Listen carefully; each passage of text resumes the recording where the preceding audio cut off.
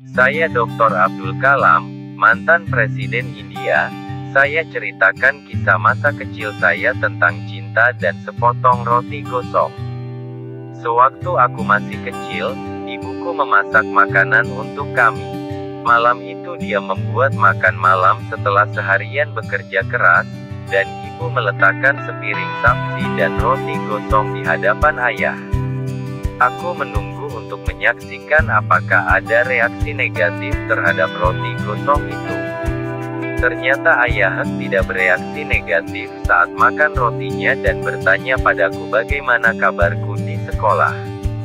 Aku lupa apa yang kukatakan padanya, tapi aku ingat aku mendengar ibu meminta maaf kepada ayah atas roti yang gosong tersebut. Aku tak akan pernah lupa yang ayah katakan sayang, Aku sesekali kadang suka roti gosong.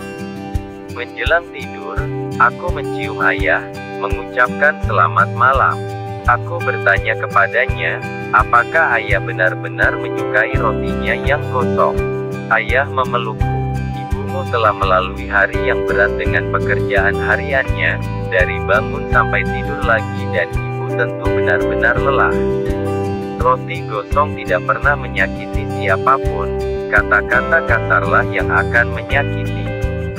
Kau tahu nak, hidup ini penuh dengan hal-hal yang tidak sempurna dan orang-orang yang tidak sempurna.